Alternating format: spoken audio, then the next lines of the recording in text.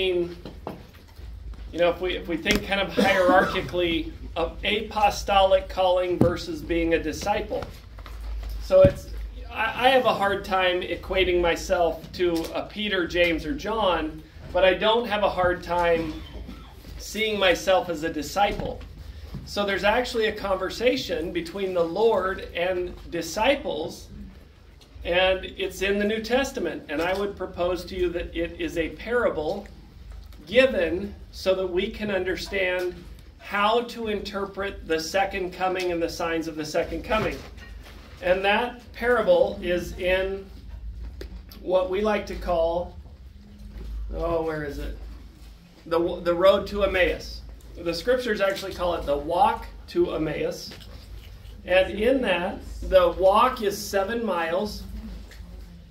It is between two disciples and Christ, one of whom is named Cleopas. And Cleopas is talking with this other disciple, and they are disturbed because the Savior is dead. Um, and they're now receiving word that his tomb is empty. And so the Lord comes upon them uh, in disguise, I guess you could say. And he sees that they're troubled and they say, he's, he's like, what's wrong? And Cleopas is like, do you not know what just happened? The Jesus who was supposed to be our Savior has been killed. And he says, we trusted that it had been he which should have redeemed Israel. And beside all this, today is the third day since these things were done, and now we've got, this is kind of funny, certain women, you know, like, why does he throw that in there? Like, like the women are saying uh, that he's back.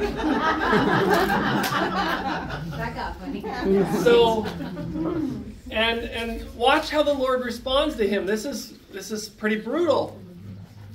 Oh fools, and slow of heart to believe all the prophets have spoken. You see what he's saying there? Why why are you questioning? You should know. And how should they know? They must not have believed the prophets. Because if they had believed and studied the prophets, they would understand what was happening. And, he, and then he begins at Moses and all the prophets and expounds to them all the scriptures concerning himself. Okay, how do we liken that to us? If we go back to the conversation with the Lord outside of the temple between him and his apostles.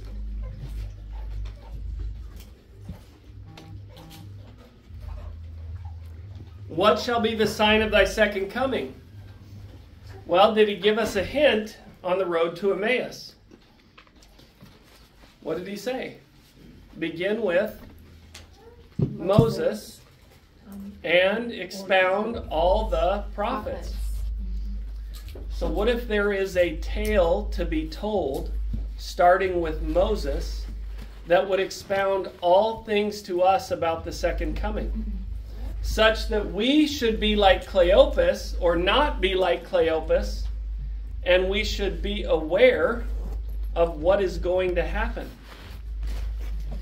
Now, there's a, a little trouble with that because what I typically hear people say is, well, no man can know. And that seems inconsistent with what the Lord is saying. All right, so let's go back to this.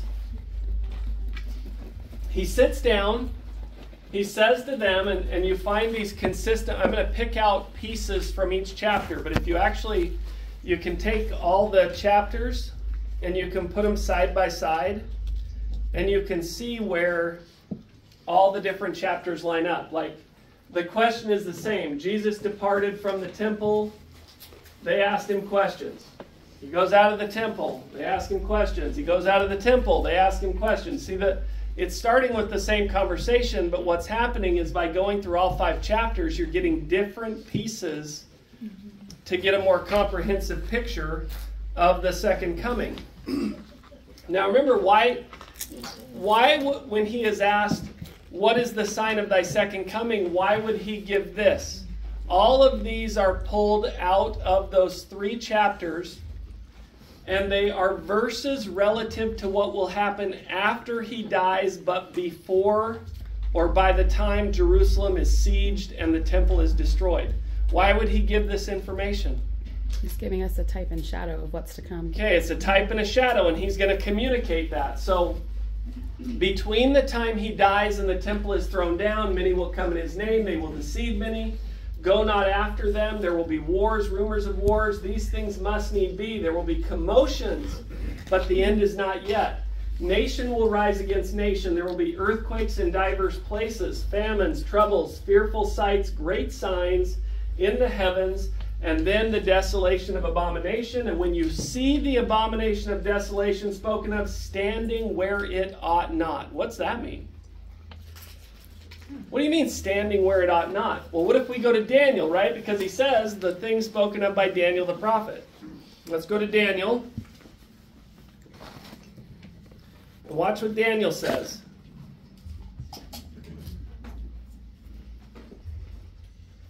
From the time that the daily sacrifice shall be taken away, and the abomination that maketh desolate set up.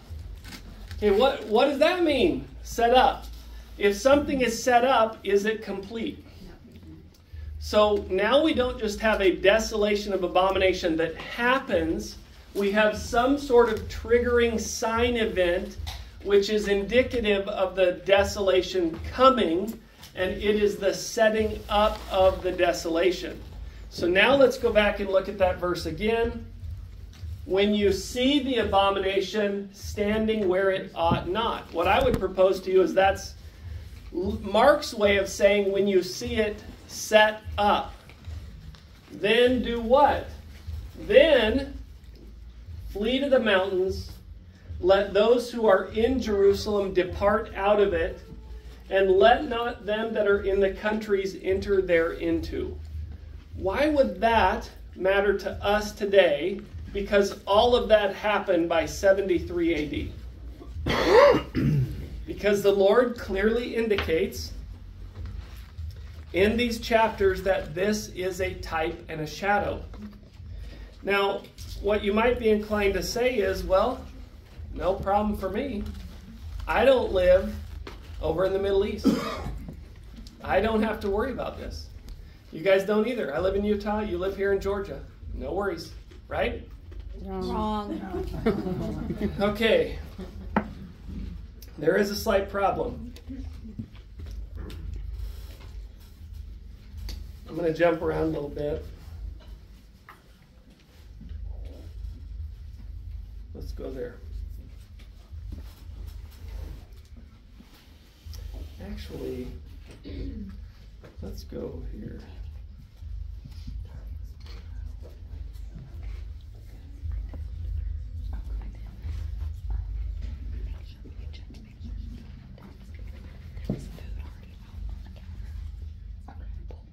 Give me a sec. I'm, I'm getting there.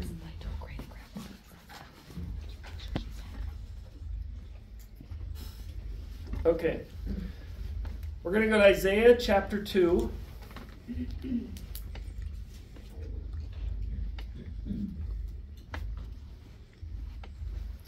Okay, notice what's in the chapter heading right here. Okay, see that? Mm-hmm. I'm going to go to chapter 3. See that? Chapter 4. You seeing a pattern? Okay. Let's go back now. 2 Nephi 15 correlates with Isaiah chapter 5. 2 Nephi 14 with Isaiah chapter 4. 2 Nephi 13 with Isaiah 3. 2 Nephi 12 with Isaiah 2. And, sec- and and second Nephi 11 correlates with what? It doesn't. It doesn't. Why? Why would Nephi not include this? Let's go down. The vision of Isaiah concerning Judah and Jerusalem in the days of Hezekiah. Okay, let's go to 2 Nephi 12 and Isaiah 2. The word that Isaiah the son of Amos saw concerning the same place in the Last days. And at that time the mountain of the Lord's house, which is what? The temple The temple will be established where? in the mountains. In Utah. That's actually what Ute, Utah means, is the place or up on high, the top of the mountains. In Apache, it is Yi Utahi, which means the people up on high. And shall be exalted above the hills, and all nations, Gentiles would be the word. Do the Gentiles flow to Judah and Jerusalem of old? Never. They wouldn't even let him come to the temple. So, what place ever in the history of Israel, i.e., the house of Israel, and what point in time have the Gentiles been allowed to flow to the temple in the top of the mountains? President Hinckley got up in 2000 and said this prophecy was fulfilled in Utah because out of Zion, the American continent, and Salt Lake City went forth the law and the word of the Lord from Utah and Salt Lake.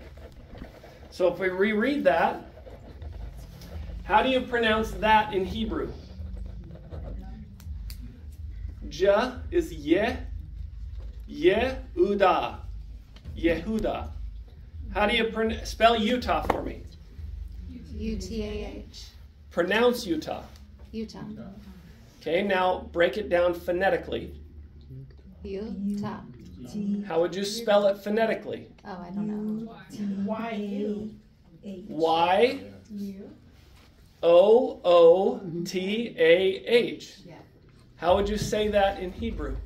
Yuda. Yehuda. Yeah. Now, it's a, it's a good thing we Mormons are smart because we planned that, right? Who gave Utah its name? Anti Mormons from the U.S. government and Salt Lake City. We wanted Deseret. The anti Mormons gave us literally the Native American name for Judah. Now that's just a coincidence, right? And then President Hinckley says that prophecy is fulfilled. I got to show you one more thing now that I've said that. We'll come back to this one. There's an article published in 1958 in the National Geographic, National Geographic magazine called Geographical Twins A World Apart. In that, they published photos of the Jordan River in Israel and the Jordan River in Utah, the Dead Sea and the Great Salt Lake, and maps of Israel, the Dead Sea, Jerusalem, the Great Salt Lake, Salt Lake, Salt Lake City, Utah, 60 mile river called the Jordan River, and a fresh body of water called Utah Lake and the Sea of Galilee. Oh my goodness. It's 19